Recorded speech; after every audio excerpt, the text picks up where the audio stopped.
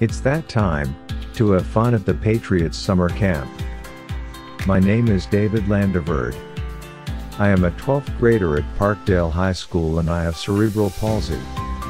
I was a summer camp intern at the Patriots Summer Camp where we hosted STEM workshops and a STEM carnival for the YMCA.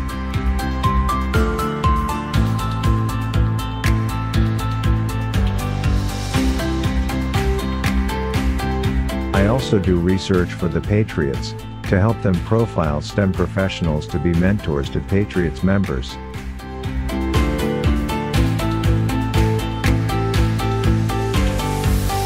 Become a member to learn about STEM careers and compete in competitions.